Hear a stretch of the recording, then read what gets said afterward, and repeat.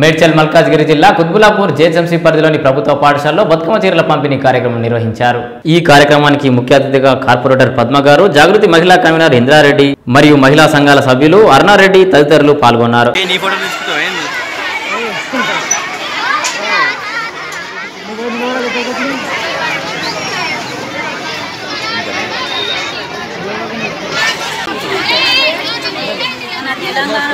బతుకమ్మ పండుగ అంటే మరుగున పడిపోయినట్టు అయింది ఇప్పుడు మాత్రం మన కేసీఆర్ గెలిచిన తర్వాత ప్రతి సంవత్సరం బతుకమ్మ పండుగ ఆడపడుచులకు అందరికీ చీరలు ఇస్తానని అన్నారు.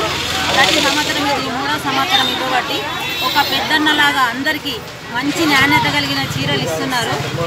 ఎంత ఈసారి అయితే ఇంకా బాగా ఉన్నాయి చాలా బాగున్నాయి.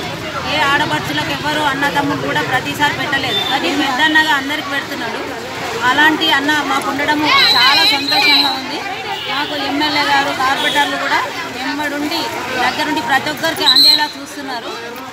ప్రతి వాళ్ళకు గరీబోళ్ళకు చీర కొనుక్కునే పరిస్థితి లేనప్పుడు ఈ చీర వచ్చినాక చాలా సంతోషంగా గర్వంగా అందరం కలిసి ఈ ఒక రోజు ఈ చీరలందరూ కట్టుకొని కార్పొరేటర్ గారిని ఎమ్మెల్యే గారిని పిలిచి బతుకమ్మ ప్రోగ్రామ్ చేసాం ప్రతి ఒక్కరు ఇక్కడ ప్రెస్ వాళ్ళు కానీ అంగన్వాడీ వాళ్ళు కానీ ఆశా వర్గాలు కానీ మహిళా అధ్యక్షురాలు కానీ సమైక్య ప్రెసిడెంట్లు కానీ ప్రతి ఒక్క మహిళలు మాకు తోడుకొని అందరి తరపున మన బతుకమ్మ పండుగ శుభాకాంక్షలు తెలుపుకుంటూ మాకు ఇచ్చినందుకు కేసీఆర్ అన్నకు కృతజ్ఞతలు తెలుపుకుంటూ నిన్న నూరేళ్ళు ఆయుష్ మా కార్పొరేటర్ ఎమ్మెల్యే సీఎం నిండ నూరేళ్ళు వర్దిల్లాలని కోరుకుంటూ జై తెలంగాణ. జై తెలంగాణ.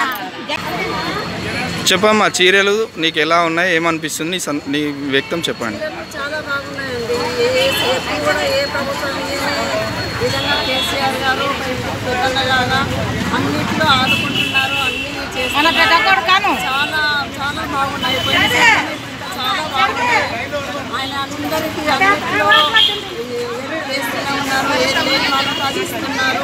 చాలా చాలా బాగున్నాయి.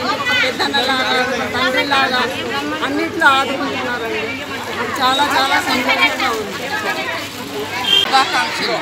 మన కేసీఆర్ గారు బతుకమ్మ పండుగకు మన మహిళలు అక్క చెల్లెళ్ళకి అందరికీ మంచి చీరలు పంచి పెడుతున్నారు. కానుకగా ఇస్తున్నారు. అందరికీ దసరా బతుకమ్మ శుభాకాంక్షలు.